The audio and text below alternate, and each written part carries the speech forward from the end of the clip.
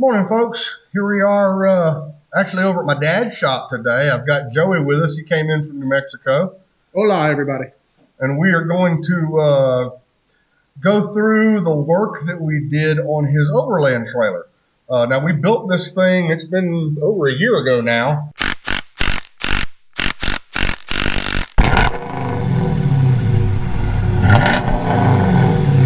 Yeah, to give you a little backstory, basically, I mean, everybody had a COVID project, right? And uh, when we moved to New Mexico, when me and my wife moved to Me- New Mexico, um, a little a little after that, Barrett actually moved to New Mexico for a job opportunity. He was there for a couple of years. He's back in Louisiana now. Um, and during COVID, me and my wife, we love camping, so we decided we wanted to do um, a little more camping, getting a little further back out in the woods. And I had a pretty capable Jeep. Um, and so we decided to build a, I decided that I wanted to build a trailer that would be capable of doing that.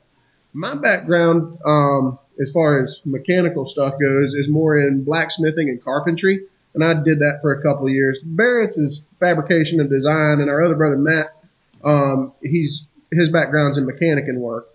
Well, I decided I wanted to build this trailer, and uh, Barrett being relatively close, just a couple hours away from me, having that background in um, And a fab- welding rig. that helped, yeah. but having the background in fabrication, design, and welding, um, I pitched the project to him, and he was like, "Man, this would be awesome." Yeah. Yeah, so uh, we started talking about it. and then we started putting together a parts list.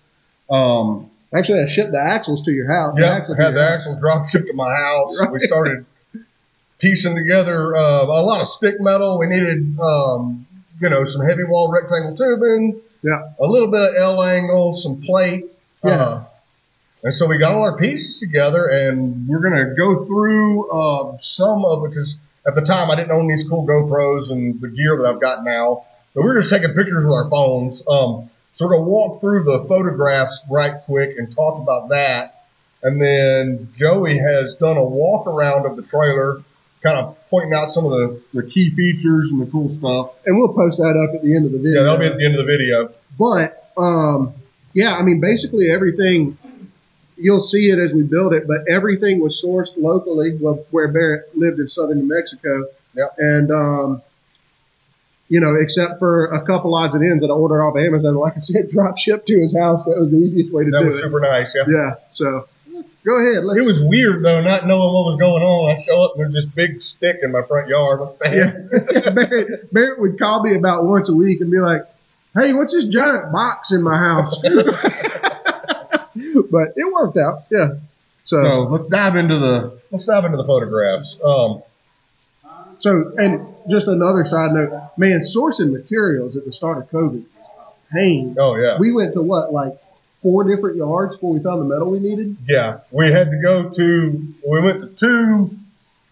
One was a trailer manufacturer place that let us buy a few sticks of metal. One was a junkyard that uh, let us buy some some scrap plate, but we had to go there when they were open. Yeah. Um, we went to another Went to a feed and seed store actually. feed and seed store that actually had some metal out back they let us get. Yep. Yeah, Yeah, it was it was- interesting piecing it all together. It was. It was. Anyway, yeah.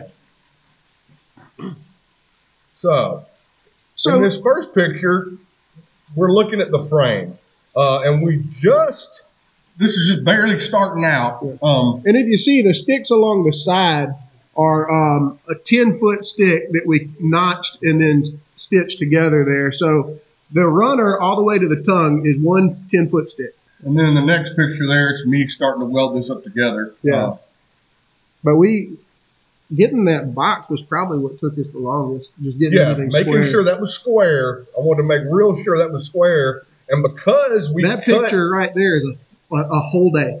yeah, that was a full day. Yeah. Uh, but cutting those angles to make that box roll into the tongue all in one piece, making sure it was all square.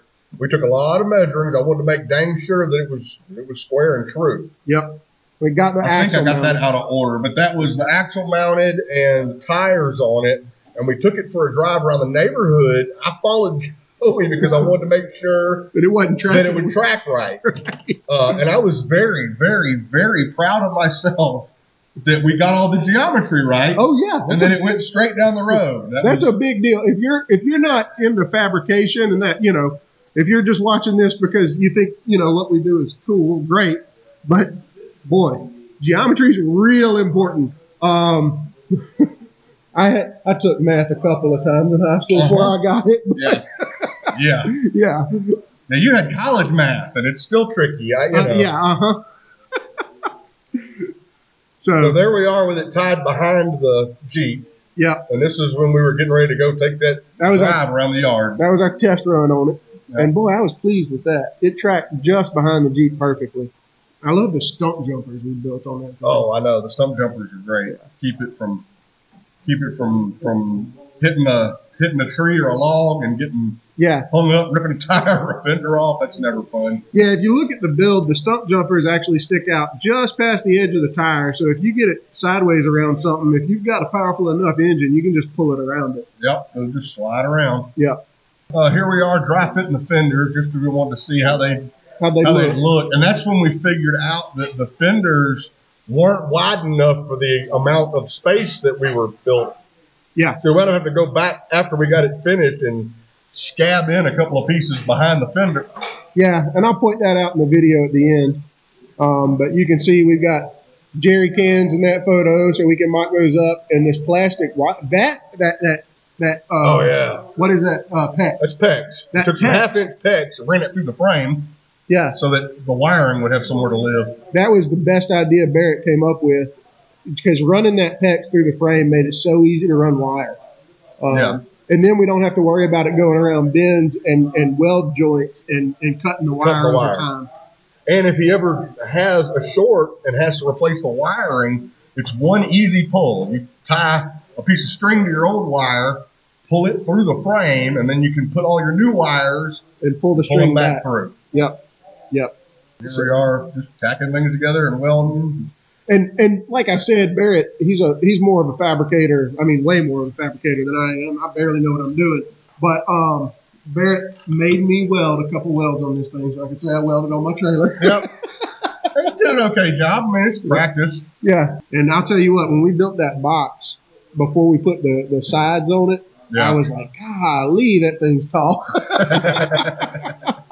but it worked out really good. Yeah, it um, did look funny when yeah. we just got it we got it started. We planned it out on paper, and and I kept being like, I don't know, and Barrett was like, trust the process, dude, trust the process. Yep. You know. yep. And we got the sides put on, and suddenly it didn't look so funny anymore. Yep, for sure, for sure. And then, uh, well, the the trailer hinges you can see in that last picture or the, the tail the tailgate hinges. Mm-hmm. Bought those off of Amazon. They're just bullet hinges, weld on bullet hinges. Yep.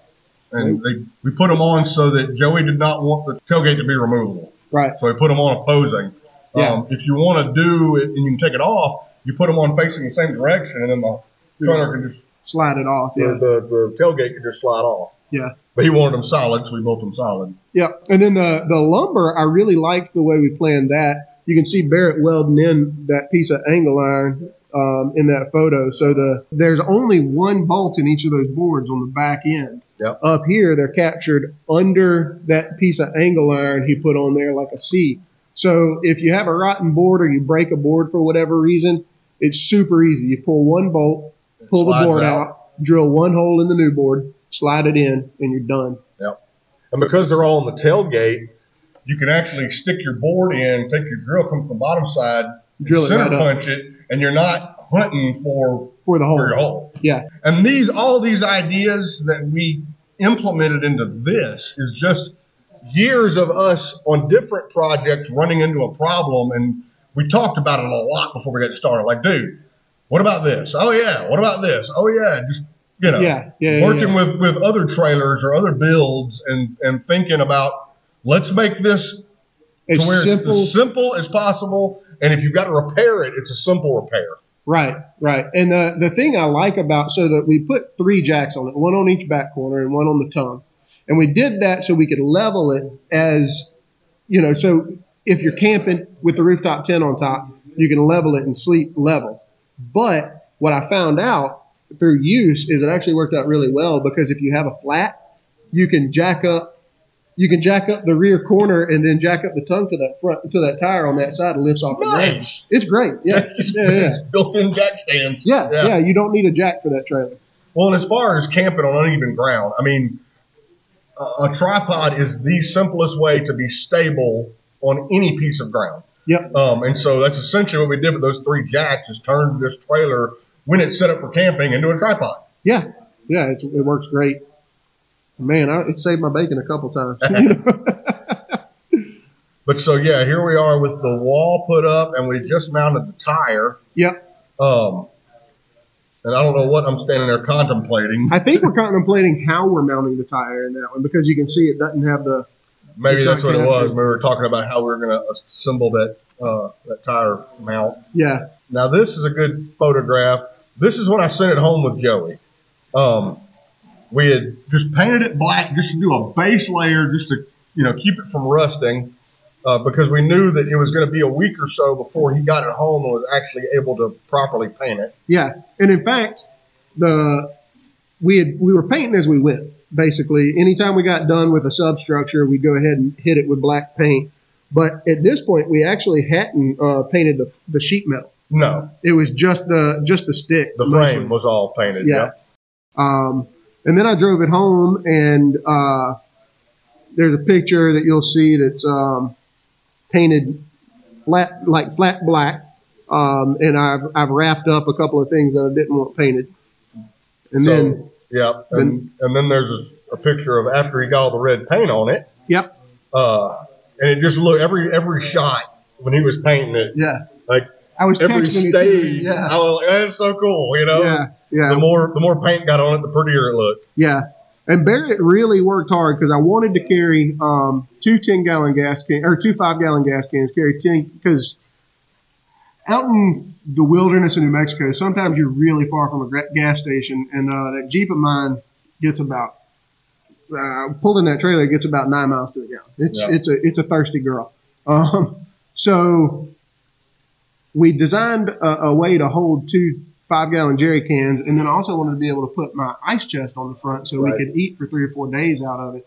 And uh, that took a little figuring to get everything. Yeah, it took a little bit of figuring because we wanted to make sure that the two jerry cans would fit within the tongue, um, and then the ice chest could fit on front of that within the tongue. Right. And so if you look at that picture there, you can see that the ice chest is right on the edge of the Yeah.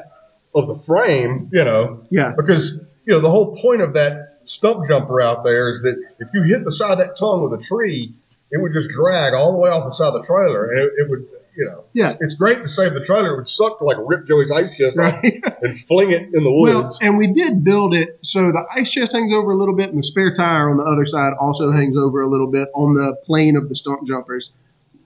Nothing else does, but both of those are easily removable. So if you really got yourself in a, bind, yeah. you can pull stuff off. Pull it off and move it. Yeah. Um, And Joey keeps patting me on the back for for the work that I did and the math that I did to make this work, but well, I couldn't have done it without you. yeah, but honestly, I'm not. The overland thing is not a thing that I've ever thought about or considered. Joey's the one that loves the the the boondocking style of camping, and so a lot of the ideas that he came up with were very practical about how we want to set this thing up. Uh, and of course, if he didn't come to me and say, "Hey, I got this idea for a trailer," this turned out to be a really cool project. I had a lot of fun with that I would have never, Never even thought about. Yeah, yeah, for sure. Um, but yeah, I mean, it, it was great, and we designed it. The funny thing is, is like we bought the tent before we ever started building the trailer. Right. Um, and because I figured about si uh, four by six would be a great size to pull behind, be big enough to camp comfortably in, Yeah. but not be overwhelmingly large. Right. So I bought the tent and we built that entire thing, and you can see in this shot that it's exact We built it to fit that, that tent. tent, and it worked out really well. And we Um, built it so that all of you know the whole everything fit within inside that footprint. Yep, yep. There's another shot of the front of it. Mm-hmm. And then there's with the tent open, and uh, that tent is a king size bed once it's unfolded, basically. And um, you you can sleep you can sleep real comfortable up there. and I've got a batwing awning um, attached to it. And me and my buddy, um, we took it hunting last year, and uh, man, that awning was invaluable. It was yeah. a great place to get out of the wind, um, and a great place to hunker down and get out of the rain because it rained on us almost that whole trip. Um, great, yeah, really good addition to that camping trailer. Yeah, the batwing's pretty cool. Yeah. So this is my camping rig as I imagined it. I have my Jeep, old double tough, that I can take pretty much most anywhere. It's a good Jeep and can get to a lot of places in the backwoods. And then this is the trailer that we envisioned and built. Basically what I wanted something that was, I wanted something that was going to be stout and uh, capable and able, to be brought basically anywhere I could take the Jeep. Um, so I wanted something that was, you know, reasonably lightweight and small. I wanted something that had decent ground clearance. Um, and I wanted something that was heck for stout that could be pulled wherever we decided to go. Um, I wanted us to be able to sleep comfortably. Um, I wanted us to have uh, shade. I wanted us to be able to pack a camp kitchen as well as all of our gear for three or four nights in the woods. So, this is kind of what we came up with.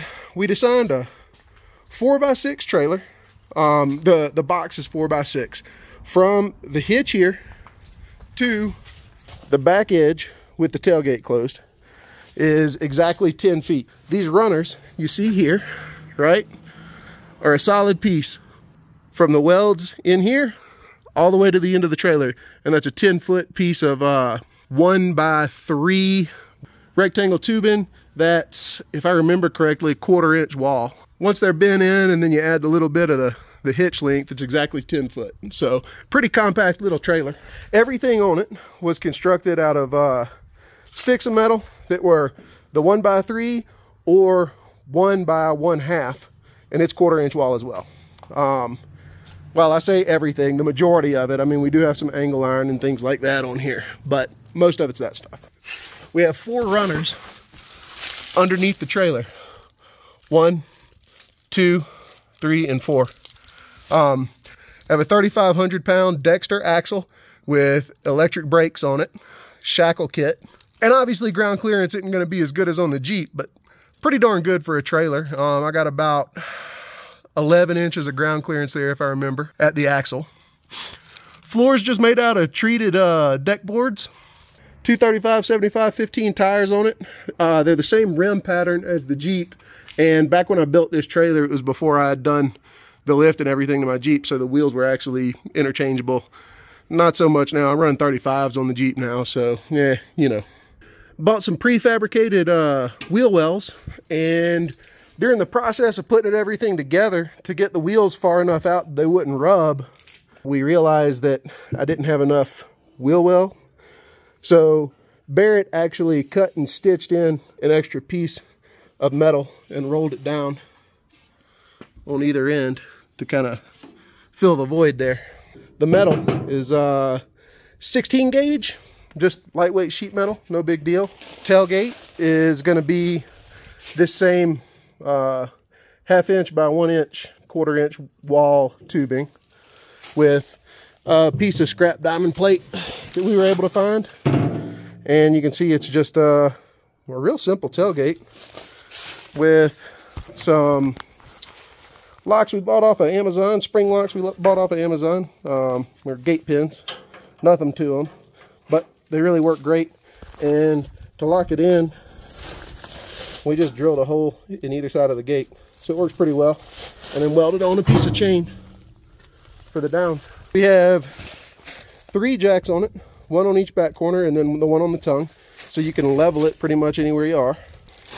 Spare tire is mounted by basically we just built a mount for it.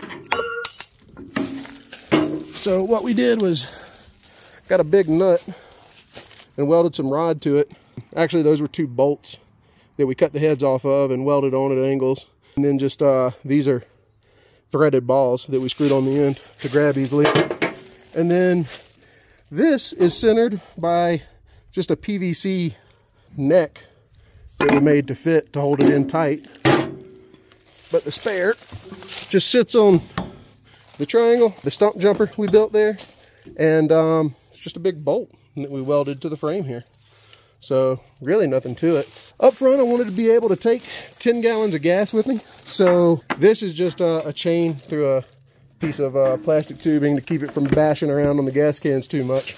But we just built a simple frame to hold, oh, these are heavy, they're full. just built a simple frame to hold the the two gas cans in and then lined it with foam. So nothing really to it there, but it's real easy and you can see, like I said, I need to clean this thing out. That's why we're getting it ready for the fall. After all these leaves have fallen, it's just pretty nasty. But uh, used a lot of that half inch by one inch um, pipe or you know uh, rectangle tubing and then some um, I think these are one and a half by one and a half maybe two by two um, angle iron we cut the edges so they flow nicely. And that's it man. Um, nothing to it really. And then we did the same thing for the cooler. Built a little shelf for it. As you can see there it's basically just two pieces of angle iron here that the cooler sets in. And then we welded chains with locks. We cut and bent um, just some little brackets right that just drop into the cooler right there so the when the lid is closed and locked you can't pull the brackets off and then we have a lock and a chain that's welded to the frame that you could lock the cooler onto the trailer with. Also welded up a, a nice little ammo can. I usually try to, I usually keep like tools and a jump pack in there, but it's just a nice place to keep it out of the way. Hides it from everything. I've got a, a bat wing awning I put on it that works nicely, but we also wanted to have a nice tent. And this is a Tepui four-man tent. We've slept, me and my wife and my son, and three dogs in it. Um, it's about the size of a king-size bed when it's folded out, so it's pretty decently large.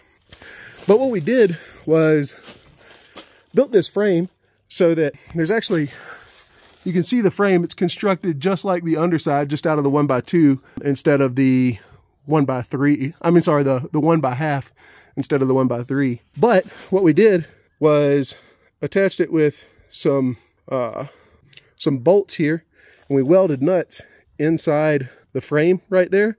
So they just bolt right in. And then on the front end, we just have a couple of pins, right? You pull these two pins, and then you can pull those two bolts in the rear, and then you can lift off the whole tent and frame that it's on, and you can just use this as a utility trailer if you want. So we kind of wanted to make sure it was dual purpose. Um, we live in town, so space is kind of at a premium. So, you know, we try to think of good ways to have multi-uses for things. But anyway, you can see we can carry a ton of gear in here. We have our two camping boxes. We have our cook box.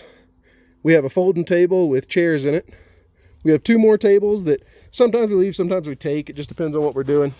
As well as like some buckets and, and water buckets and some extra chairs and stuff like that that usually go with us. And whenever we were building it, we decided we wanted to incorporate something my son made. My son decided he wanted to get into blacksmithing about two years ago. And so he worked on making some hooks. And so we have the hooks along the inside of the trailer, which is just real nice and handy to hang things whenever you're going back and forth around the trailer. So anyway, we got multiple hooks throughout the trailer that my son forged, which is pretty cool. And then on the back of the trailer, my brother, before he started Boonies Garage, used to, used to have JBD Fabrication, and so that was his old logo, and I asked him to put that on it. And then, uh, I don't know if you realize, but my Jeep is named Double Tough, like a, a small part-time character in the Walt Longmire Mysteries, which is a book by Craig, a series of books by Craig Johnson that I just happen to really enjoy, and I just thought Double Tough was a funny name, so that's what I named my Jeep. But another character from the Walt Longmire series um, is Henry Standing Bear, and he owns a bar called the Red Pony. So I went ahead and named this the Red Pony because I thought it was funny and matched the Jeep. Another thing my brother did was, uh, so the the family has, um, we used to have uh, cattle, and we actually had a cattle brand. It was the Lazy JD, and the JD kind of became synonymous with um, anything in our family that we thought was good work or stood for a good value or stood for, you know, um, pride of ownership. And so when my brother and me were building this trailer, he went ahead and added a JD and weld to the top corner of the trailer there, which I thought was kind of neat. So anyway, that's a quick walk around of the the red pony and maybe it'll give you an idea for a project you might want to tackle at some point. Um, I love it. Been camping in it for a couple years now and uh, couldn't be happier with it. And anyway, for watching, guys. Y'all have a good day. So that's the whole build, guys. Um, we had a lot of fun putting that thing together. Uh, Joey and I spent what three months on Sundays, on yeah, Saturdays, Sundays Yeah. building it. yeah. Um, that old saying, a month of Sundays. That's yeah, what went that, was, was, Yeah. that was a month of Sundays. Yeah. But uh, yeah, we had a really great time building it, and um, man, it was just a it was a fun build, and I, I've got so much good memories with it since then. We've drug it all over. We've taken it to Yellowstone. Um, we've taken it um, just camping all over the Southwest and had a really good time. So um, anyway, I'm Joe, yeah. I'm tickled to death that, that you're getting as much usage out of it. Oh yeah, yeah, You man, know? we love It's it. It's great to do a project. It's great to do a project that's useful, but to have something that someone's using regular and fun, and yeah, and enjoy having it. and fun with it, Yeah. you know. So anyway, Joey and Barrett for Boonies Garage, and uh, we appreciate you guys. Thanks for watching. Yeah, thanks for watching. God bless y'all. Have a good one.